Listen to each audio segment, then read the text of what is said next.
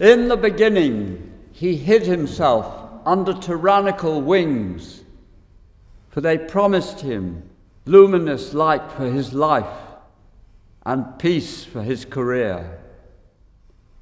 But his mind was sleeping, frustrated by the burning sun of African dust. Sanz Briz vainly recognized under the leaden sky how much he desired his first spring love. He wanted to know the truth about life, but he felt he was missing the way things really are.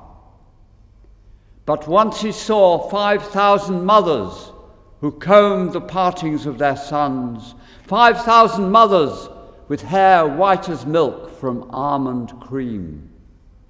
Sanz Briz met with life on the edge of a tomb and woke up his heart in the hot bath of red poppy seeds. I don't know what led him on to such revelation and spring alarm. He commanded 5,000 typewriters to scream out the burden of his heart. I do not know what led him on, but in that dark night he stood up for the Jewish side. I don't know what led him on but 5,000 typewriters angrily wrote a dispatch about coming back and a honeyed life. It happened one day over in the opposite camp. 5,000 gramophones obscenely danced just for the pleasure of themselves and the sorrow of the rest.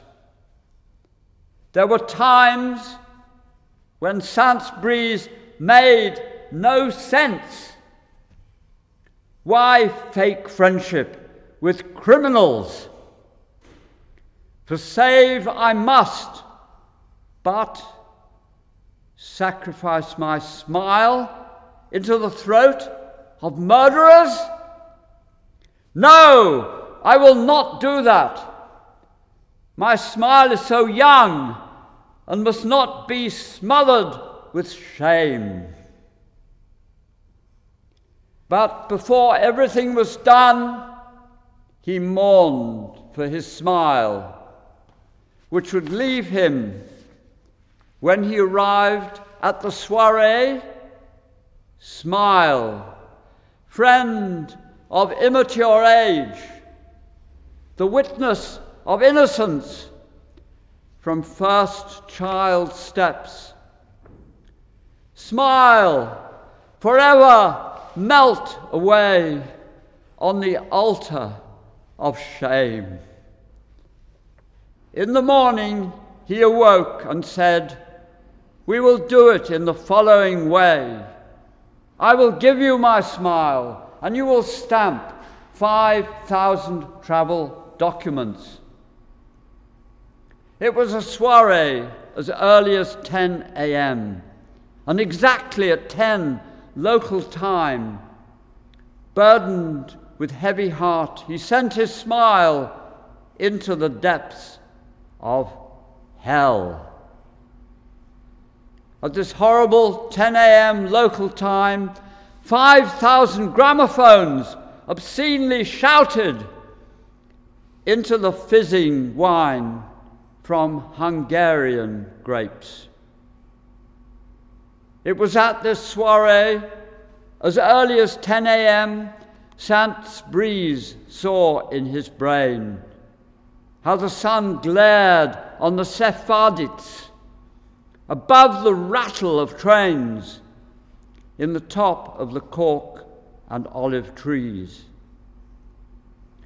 5,000 descendants of Hungarian Jews sing a song of two rails and 5 million cross ties.